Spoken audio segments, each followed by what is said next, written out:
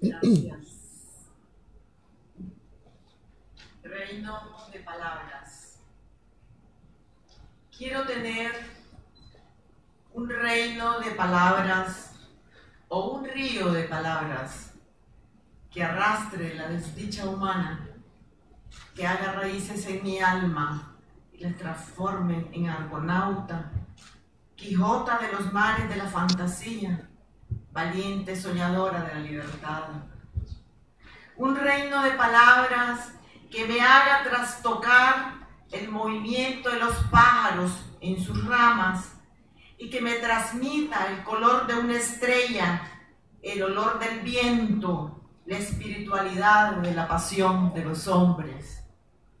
Un reino de palabras que me haga conocer al ser humano, los mares y los astros, para juntar mi alma con mi cuerpo y así complacer mi carne.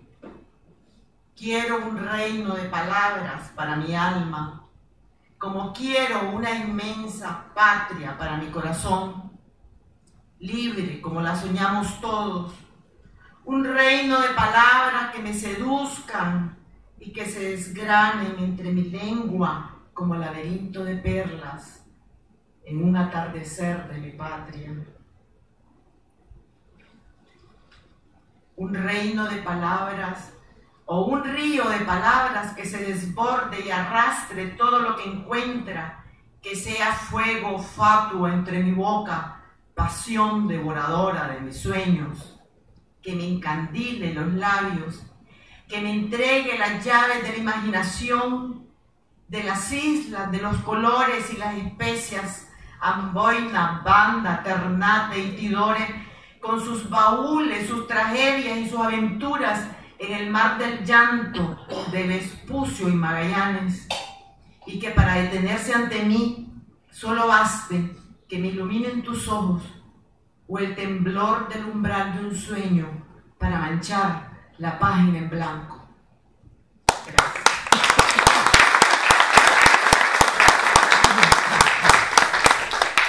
Confesión de amor. Confieso que la amo. Es la caracolita de, un, de oro de un cuento de mi madre, el caballito de luna de un cuento de mi padre, las lágrimas derramadas de mi madre, las torturas sufridas por mi padre, la guitarrita de los juegos de mis hijos, la ola violenta del mar de San Juan del Sur, la maravilla del mundo que es el río San Juan, los ocho mil kilómetros cuadrados de historia del lago de la señorial Granada, es mi casa, mis hijos, el hombre que quiero, es mi patria que habita en mí y confieso que la amo. Por eso soy un pájaro descuadernado cuando me ausento.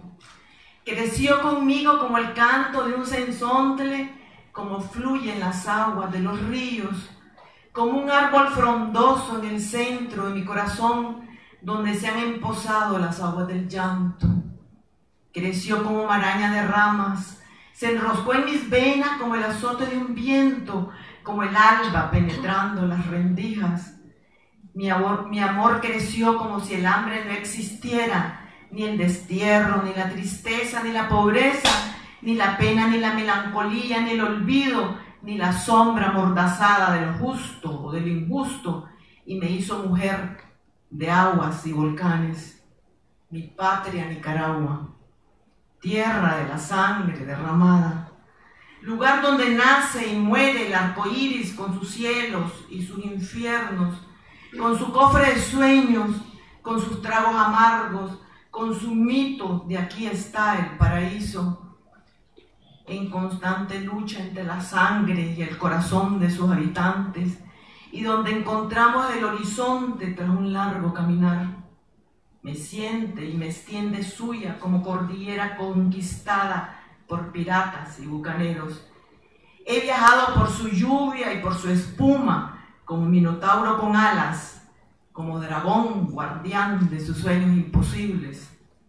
Por eso quiero cuando muera que me entierren con un trozo de su cielo, que me guarden agua de su lago y que un puño de su tierra me cubra la piel, donde escriban mi nombre y su nombre. Gloria, Nicaragua.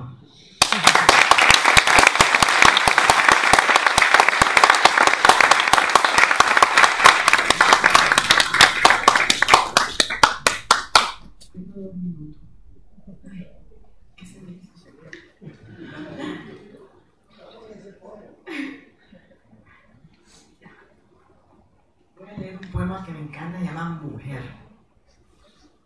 Soy mujer, luna y nube, pelo al viento y ojos a la vida. Soy mujer, simplemente mujer, cotidiana de gloria o de agonía, acuario por el movimiento de los astros, feudal en el amor y planetario.